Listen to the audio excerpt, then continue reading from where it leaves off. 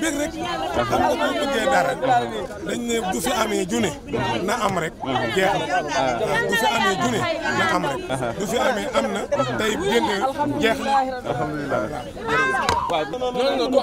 rek